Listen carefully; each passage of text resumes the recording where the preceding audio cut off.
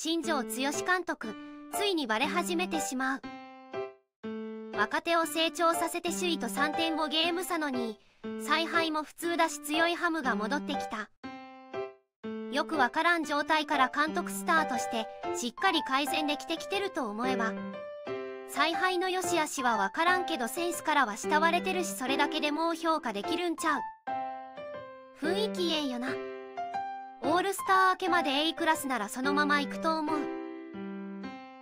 マジで清宮野村だけ船に乗れてね。えてか軍事が良すぎる。野村はまた鎌ヶ谷かな。奈良間あたりと交代か。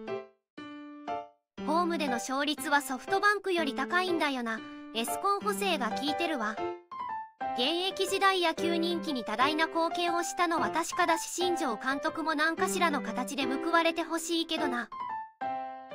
田中正義復活させたの偉い。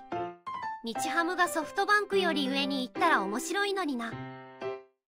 ハムって保守の育成がうまい気がする。保守出身が打撃伸びることが多い気がする。タミヤとかいうホス勝手に生えてきたのもでかいよな。エスコンになって利益が見込めるようになったからセンス補強もできるようになったのが大きいんじゃないか。みんなが同じ方向を向き出したから空気ええよな。神谷が出てきたのはでかいよな。